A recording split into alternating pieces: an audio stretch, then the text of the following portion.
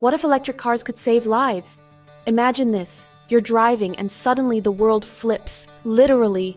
It's a terrifying experience, one that leaves you shaken and questioning the safety of the roads we travel every day.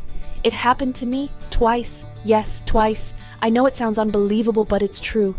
The first time I thought it was a freak accident, something that could never happen again, but then it did.